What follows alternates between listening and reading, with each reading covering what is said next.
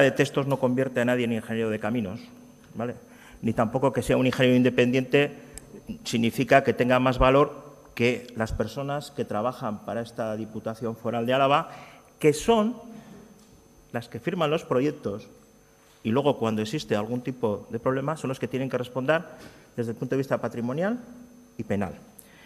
Usted está con el tema de las rotondas, como si fuese el gran problema que tiene esa zona. O sea, usted me admite que el proyecto, porque claro, me ha preguntado siete cosas y ahora solamente se reduce a las rotondas. Vale, usted, no, no, si, si tiene tiempo, tuvo tiempo en la comparecencia y no fue capaz de aprovecharlo.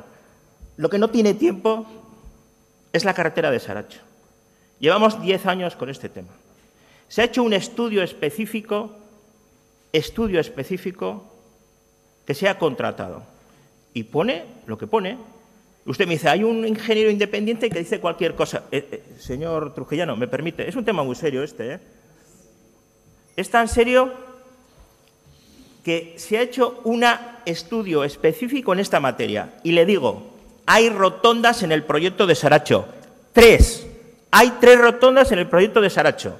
Una, la que da acceso a Lecamaña y a Saracho.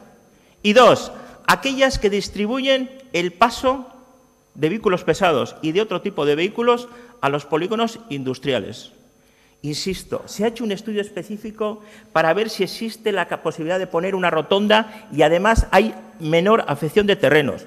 Se ha estudiado una rotonda en alto, también porque era una de las propuestas que aparecía por parte del Ayuntamiento de Amurrio. Y salvo usted, en toda la Comisión de Infraestructuras Viarias y Movilidad, todos los representantes del Ayuntamiento de Amurrio, salvo el representante de Oraya Amurrio que tenía que hablar con su círculo, ¿vale? Yo entiendo que tenga esa afición los círculos y las rotondas, todo el mundo se dio por hecho que este proyecto se tenía que llevar a cabo. Entiéndalo usted, si es que además es de sentido común, es de sentido común que allí la menor afección de terrenos es el planteamiento que se hace.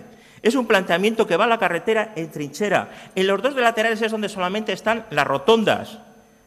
Que sí, puede presentar cualquier papel, pero si es que ha mezclado todo. Fíjese, a ver, señor Trujillano, quede claro esto.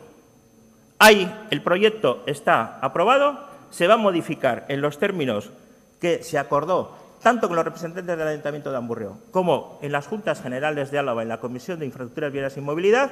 Y no se preocupe usted, en las carreteras de Álava hay muchas rotondas. Por ejemplo, en las obras que estamos haciendo en Asalvillar hay una rotonda. En las obras que hemos hecho en Anclares hay una rotonda. ¿Por qué? Porque evidentemente es el acceso a una zona urbana.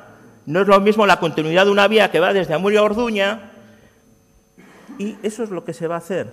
¿Vale? Señor Trujillano, porque hay consenso suficiente, amplio y necesario. ¿Vale? Muchas gracias. Muchas gracias, señor López Vierna. Eta mairu garren eta azken e, goaz, Morales